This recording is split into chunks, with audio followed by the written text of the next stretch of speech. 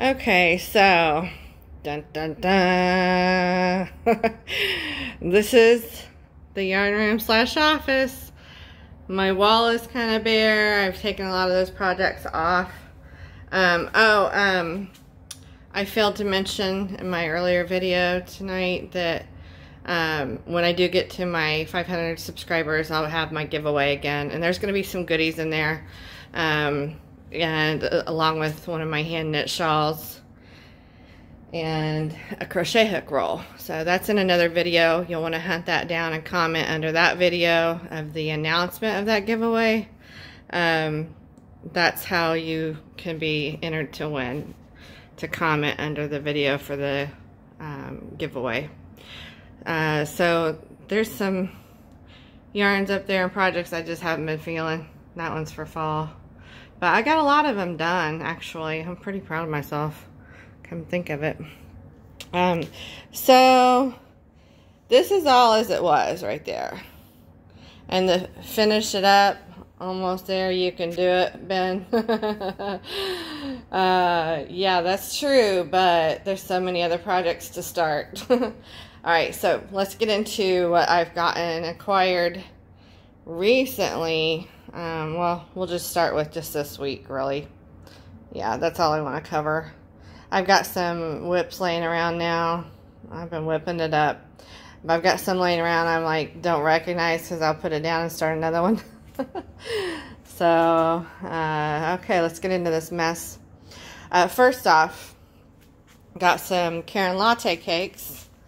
Um, my daughter got these they were in the $5 grab bags at uh, Michael's.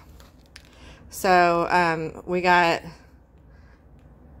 I think I got eight, eight bags, I want to say.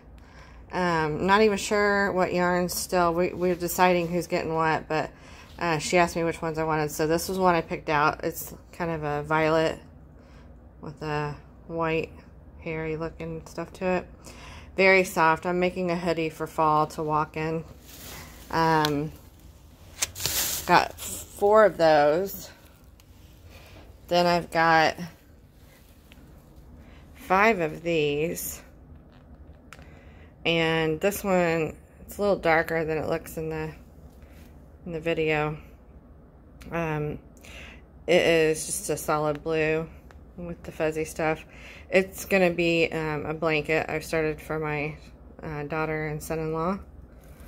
That stuff is so soft. So, so stinking soft. Um, what a mess. Down here is some baby yarn. Um, got, I just got these on sale, I think, at um, Joann's. That's going to be a little boy sweater for my grandson. I think those colors are really nice for a little boy without being too um, plain. Uh, and I'll probably knit that into like a baby surprise jacket. Okay, so now I'm just going to start dumping. Um, after that, the next trip my daughter took, she went to Hobby Lobby, discovered they were having their sales. She was able to get there first. Let me sit down here. Sorry for the bad lighting. I took my floor lamp out of here.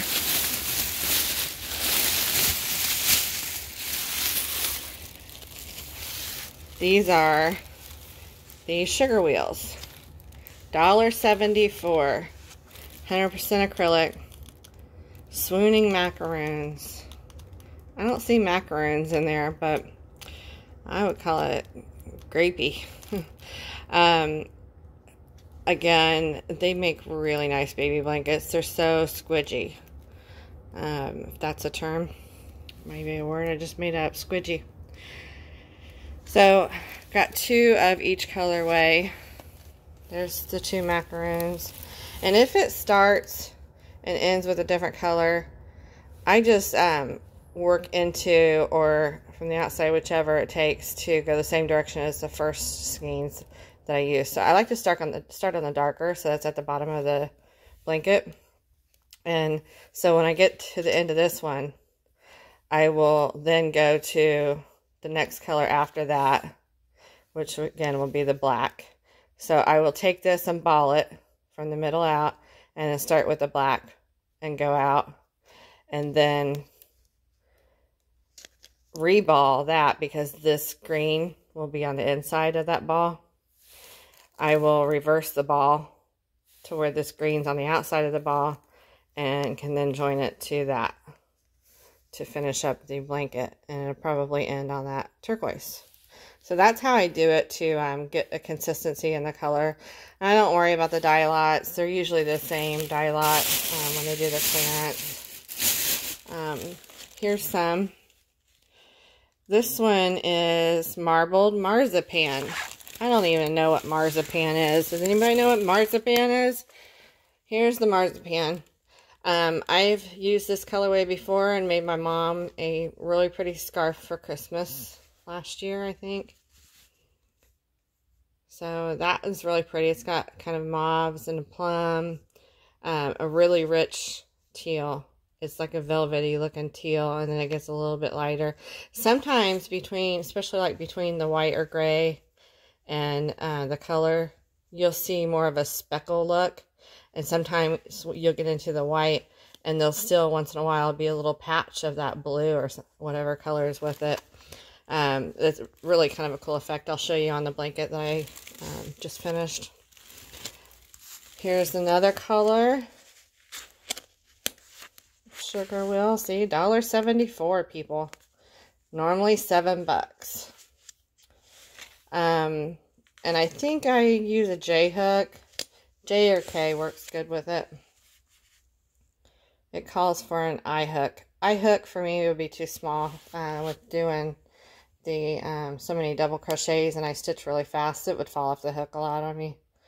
Um, eight if you're using knitting needles, 355 yards.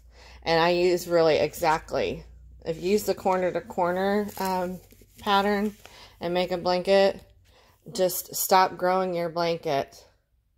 You know, you start at the corner, stop growing it when you get one skein done and then you use the other skein to do all your decreasing side. So then you can get a perfectly square um, baby blanket with two doing the corner to corner. Um, I literally have maybe 10 inches extra when I finish a blanket. I just try to make them square they can. I don't use um, patterns per se for these. Uh, so there's that one. And that one looks a little bit different. I don't know. It doesn't, it's just the order of it, I think. This one seems to have more gray. But I'll work it out. Um, if it's not exactly the same on each end, I don't care. Uh, but these will probably all be shells because I'm kind of tired of doing the, the corner to corner. This one might be corner to corner. I think that'd be really pretty in the corner to corner. We'll just call it the C2C. That's a lot of, lot to, to say, corner to corner. Um, this one did I say the name of this one? Oh, this one's glazed donuts. Oh, I don't see glazed donuts. There are names for these. They need some help. They need me. Y'all need me, Yarn Bee. Um, this one's peppermint to to be. Peppermint to be. Um, don't see really much peppermint there. I would think of more Christmassy. But um, I would call this Tide Pool. Um, I've got a shell blanket started with this one with the other skein right now. Um, this one here is Saturday, Sundae, S-U-N-D-A-E. Saturday, Sundae. I love that green with it. It's kind of a sage green. So, um, as bright as the blue is, it, it kind of brings it back down to earth. That shows better on that side. So there's two of those. So right now I've got, counting this one, I've got two blankets almost done. So that'll be three, four, five, six blankets. That haul. Um, let's see, I bought these. My daughter didn't buy these. I bought these. Um, she was just with me. Um, and then I've got also got this bag of potpourri. um, that was on sale, 40% off. Um, that was like seven bucks. This was a dollar twelve. Wild Streak Peacock. So I think that's really cute. Um, I don't know about the texture of it. I don't buy the, um, it's almost like a single ply. See how hairy it is already on the end? Wow. So I'm probably going to stitch that pretty tight and maybe do a half double just to get it where it's not going to fuzz up too bad. But I love those colors. Um, got two of those. So those were $1.12. So for all the yarn, just the yarn, I think was $21. And I've got enough for six blankets.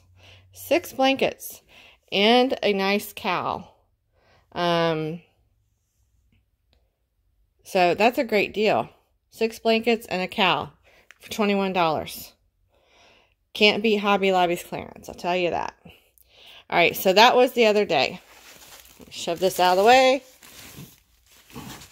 I've really got to get in here. I think I'm going to take, um, I'll probably move that.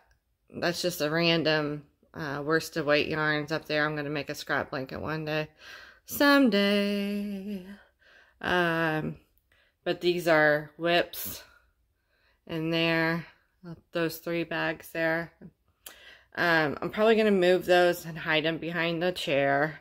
And then I'm going to um, somehow, um, most of what I bought was either chunky the other day, chunky or baby chunky or worsted weight, uh, some prints or variegated.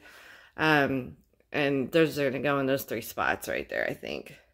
So that way I can just look at my yarns. I've got worsted weights down here and those two and I can pull together just random skeins and maybe do some color block wheelchair blankets because we're also doing that.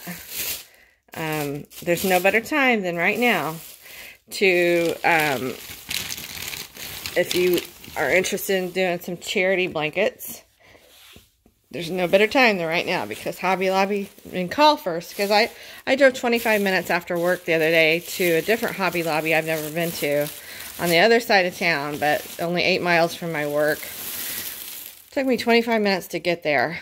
25 minutes, and I get there and they've got no yarn clearance. They've got the 30% off on all their yarn right now. That's not enough for me.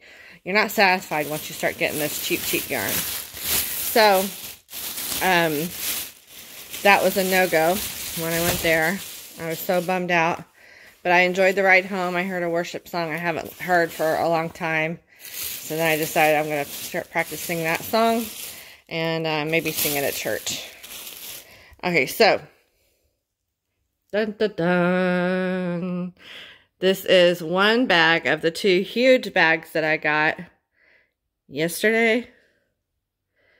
And I think I spent $46. $46, people. 46 So some of them, they're not exactly the same but they're similar. Okay, here's three chunky ones. These were $1.24 each. They're normally 5 bucks. I love this chunky yarn. That's what that one is. Um, but there's three of those. This one looks like it might be a little bit of a different dye lot than the other two. But I don't care. They're pretty colors. And it's so soft. Um, I just love Hobby Lobby's yarns. But these two blue ones here, I'm just going to start a blanket in the middle and do a square and start with these two. When I run out of those two, then I'm going to go to those three. That's what I'm going to do with those. I've got five of those. That'll probably be a wheelchair blanket for some little, nice little old lady. I love little old ladies. I love old people in general too. I love babies, but, but um, old people, like, I don't know. I love hearing all their old stories and stuff. And um, I read a memoir get to hear all my chit chat now because now I'm thinking of, of, other things I didn't tell you in the other video. Um, I bought three memoirs um, last week, I think, maybe the week before, um, off Amazon, and I just read my favorite one of all time. I am going to do another video of it's non-yarn related, but I'm going to do another video of me talking about all the memoirs that I've read that I love. My all-time favorite before oh it's hard to say which one it was. Um, there was one i laughed and cried so hard um, called life and times of the thunderbolt kid. That was probably i think that was the probably the first one that i ever read. Uh, so that was my introduction to memoirs. He grew up in the 50s uh, but this one i got the other week oh my gosh i love it. Um, and it's called running down red dog road.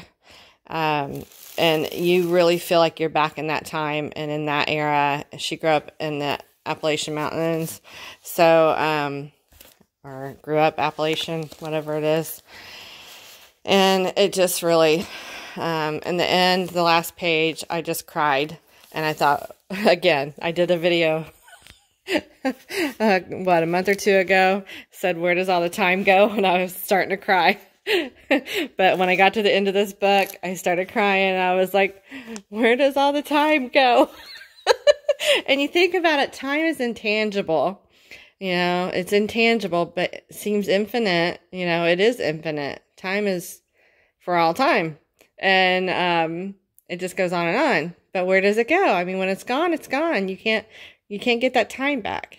So um, really, I mean, time is a currency when you think about it you know, we give our time for work and therefore we get paid. But we're really, time is the biggest thing, that and the labor that we're getting paid for. Um, so, yeah. But the end of that book, I was just like, where does all the time go? And I cried. It had um, uh, one of those bittersweet uh, endings. So, okay, I'm trying to arrange these in some sensible order. Let's start on the back row. This is all, this is the first bag still of what I bought yesterday and only spent $47. I haven't counted my all my skeins yet. I showed you the first five of this bag. So here is, um, this would be six, eight, 10, 12, 14, 16, 18, 20, 22, 23 in this bag alone. 23 skeins. And keep in mind, I only spent like $46, I think. I'd have to look at my receipt, but I'm pretty sure it was $46. A lot of these were 99 cents each. This one was $1.24. Normally $5. 99 cents. Yarn Bee Tender Touch. This stuff is so soft. It's kind of chunky. Yeah, it's pretty chunky but it's fluffy. So I think, you know, the gauge actually won't be that big. I think I'll probably use a K-hook with it. You can probably get by with an N-hook if you wanted to do it looser and drapier. So let's go through these colors here. This one is the I Love This Yarn. Super soft, super savings. You bet your bottom dollar. It Literally $1.24. I mean, can you beat that with a stick? Look at it. It almost looks kettle dyed, like Malabrigo yarn. They have a fuchsia color colorway in this that I love that I want to make something with for fall, I think. But it looks even more color, uh, kettle dyed. And if you're not familiar with kettle dye, it's what makes these um, little subtle flecks and variegation to it. See? Little flecks of pink and more of a, a, lavender and lilac, a little bit more of um, closer to plum. So that was not hugely um, kettle dye look, but it does have some. So that one is 252 yards called Bright Violet. Two of those. So then I just picked these up and I decided at the register when I was putting these, I was trying to put them, if you go, see I, I went, I spent 15 minutes getting these two, two huge bags of yarn and checking out. 15 minutes. Uh, maybe 14 minutes. I got there at uh, 746. Grabbed my cart, ran back to the back corner, didn't run, you know me. But um, I just started like grabbing, grab, grab, grab. And I didn't like particularly look you know, and put a lot of thought into it because I don't care about patterns. I'm buying yarn. I'm buying stash. And I'll decide on pattern later. once you can build up so much stash, you can just mix and match what you want. But when I was at the register, I literally was like, oh, these two here, those are going together. Those are close enough. And it's actually a, a nice little bit of a contrast to brighten up the drab green that's in this one. But this one is a print. I may do a chevron uh, wheelchair blanket with this one. Songbird stripe. When you crochet these, they don't stripe. They, they're more pooled or variegated, a little bit of a speckle look to it. Um, but that will be enough contrast, really. It'd be a good contrast, sorry, for a chevron. So not a perfect match, and I like it. It's got some ecru or light tan, some pine green, a light blue, a darker blue, not quite royal blue, it's more of a powder blue. The plums. And the green really has a lot it has a lot of speckle to it. There's a lot of speckle in there. Can you see that? So, loving those two together and they're both the same weight and feel good. This is the Tender Touch coming back to it. It is Sea Breeze. Colorway is Sea Breeze. I don't think I've worked with this one, but it's a lot like, um, uh, I think it's called Jamie or something. Is it Lion Brand Jamie? Jiffy. It's a lot like the Jiffy yarn, but it, if you ever use the Jiffy, I don't even know if they still make Jiffy, but it's um, softer. It has a nice little halo to it. 99 cents. And there is Sea Breeze, 135 yards. And it calls for a K-hook. Like I said, I was planning on using the K. So there's the Sea Breeze, and there's this tan that is called Suede. It has a little bit of a sheen to it under the halo. I'm so sorry for the lighting. I moved my floor lamp and by my recliner so that I could read in the living room because the ceiling fan light is just like this one in here. It really doesn't provide enough reading light.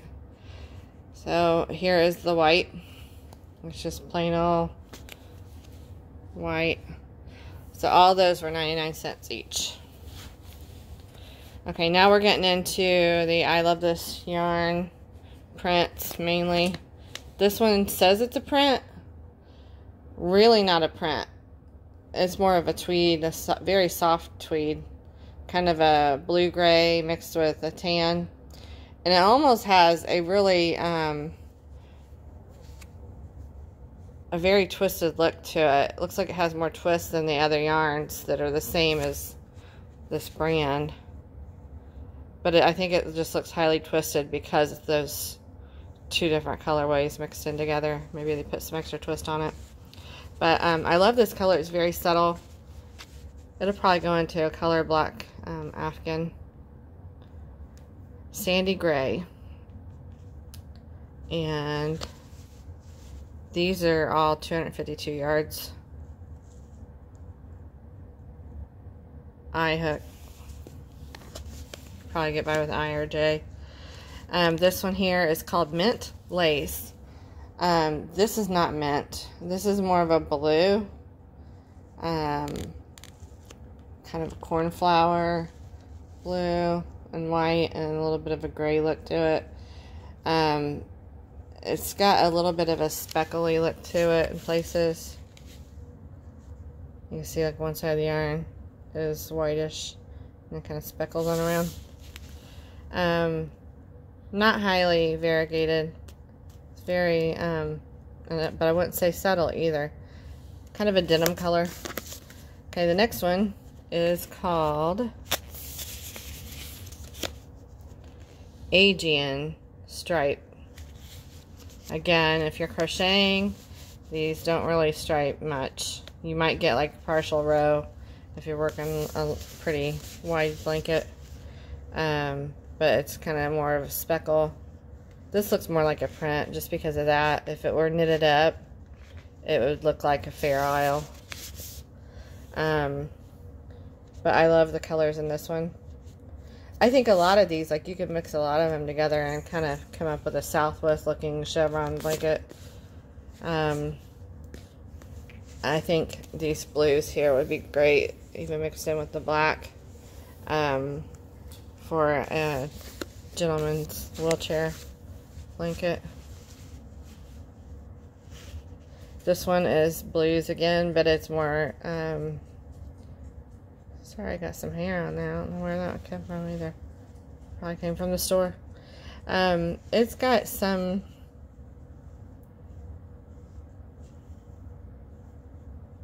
kind of a slate color with some blues denims.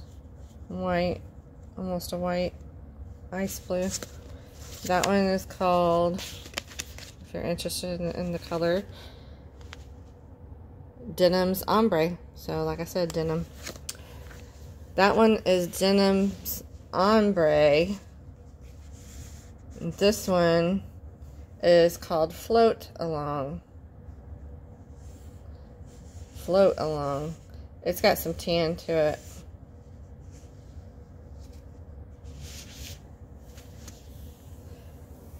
And then these two, I don't even know if these two blacks are the same. I'm going to mix and match them though. I don't care. There's more white in this one. This one looks like it's been around for a while. But, you know, these were all a dollar twenty-four. A dollar twenty-four. I mean, really, I don't remember seeing those prices since we, me and my mom, we used to go to a place called Frank's Hot Hobby, Craft and Hobby or something like that.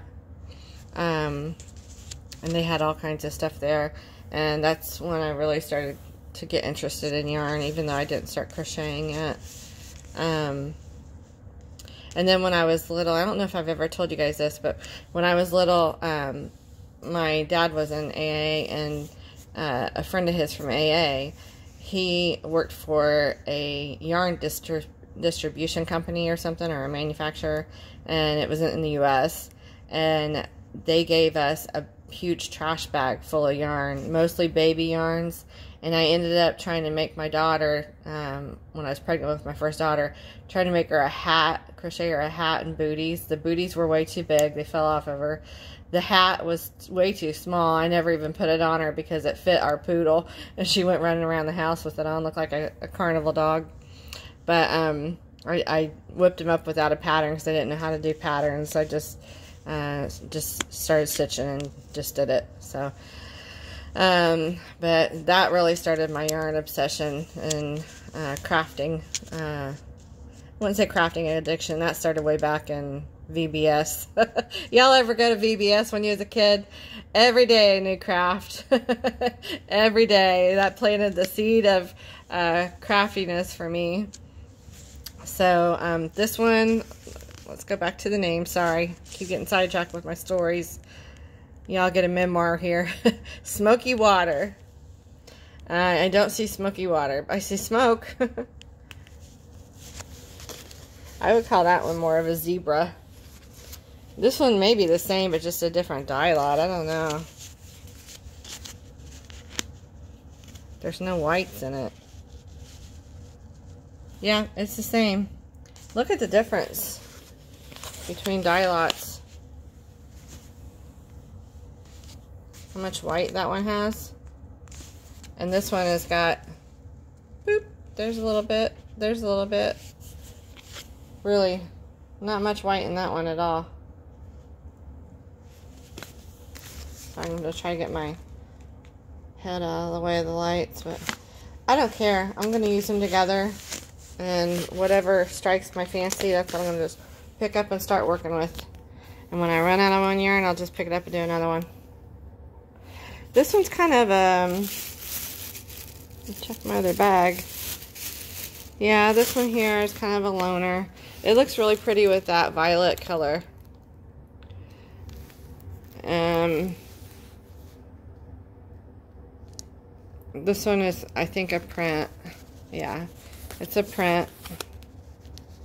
Another dollar twenty-four. Er, fruit punch. There's the name. There's your colors. It's got a little bit of limes, sage, blues, the hot pink. I love, I love that mixture of colors.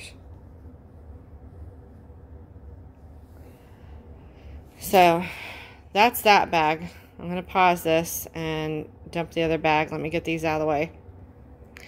Okay, so I've laid these out here. This is the second bag that was almost full. full once it was tied. Um, I just lost count. The other bag was 23. So 24, 26, 28, 30, 32, 34, 36, 38, 39. 39 skeins, y'all. For like 40 something dollars. $46 I think I spent. I'm going to have to check my receipt. I'm wondering if she, she literally, because I grouped these by the stickers. So a bunch of 99 cent ones and the different types.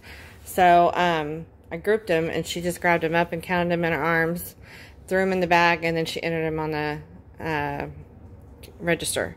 So uh, she entered the number on the register. So she didn't scan each one. So maybe she missed some. I don't know. I better check. I'll feel guilty if I got some for nothing. But they're next to nothing right now anyway. 99 cents for these soft and sleek, low pill fiber. The soft and sleek I have worked before. Um, it was a really pretty colorway. But crocheted up, it doesn't have the same effect as it does with the knitting. The knitting really shows the nice flecks and the transitions of the speckles and everything between the more solid rows. Um, but I really, I've been doing some knitting lately for the baby, and I don't care for knitting as much as I used to. I used to just knit like nuts, and um, I've just fallen back in love with crochet. So crochet, I can just, you know, put it down and pick it up so easily again, and not have to worry about uh, reading a pattern all the time. Uh, so Yarn Bee Soft and Sleek, low pill fiber. This one is 100, sorry, I'm having trouble seeing it, 186 yards for 99 cents. Pinks and purples, I think it's pink. It's kind of a light violet, light violet, medium violet, and then purple and white. So I think that one will mix nicely with this other one for something. I don't think two of these will be enough for a blanket, but I can mix something else in. I don't care. They're just charity blankets and people appreciate them. And usually, you know, you get a little brave and start mixing some colorways. You know, mix